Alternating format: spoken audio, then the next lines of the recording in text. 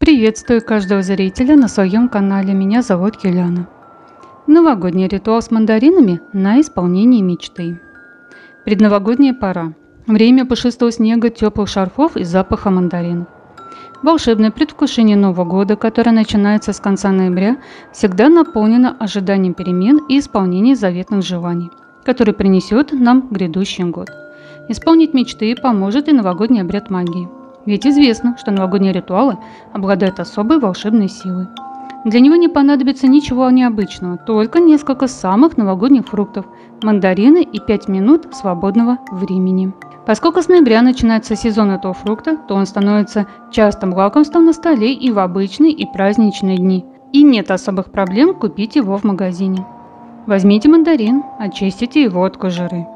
Далее разломите напополам и начните отламывать подольки. Перед тем, как съесть, произносите одно желание. Желание произносите в настоящем времени, без частиц «не», без упоминаний других людей. Только то, что касается именно вас и не несет зависти, негативной информации.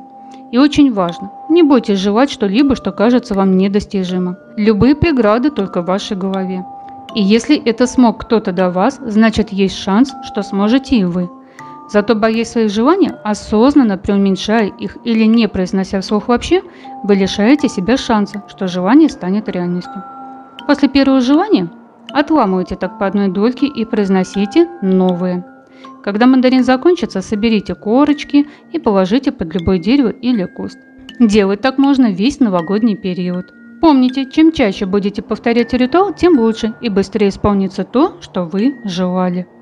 И обязательно это сделайте за новогодним праздничным столом. В этот момент любое произнесенное желание наполняется самой невероятной мощной силой.